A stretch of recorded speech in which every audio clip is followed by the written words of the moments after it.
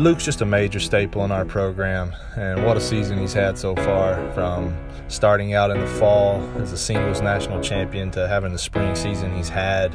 I mean, playing number one singles, the energy he brings at the top of our lineup really electrifies the rest of the guys every single match. He's just been a major part of the success we've had so far this season.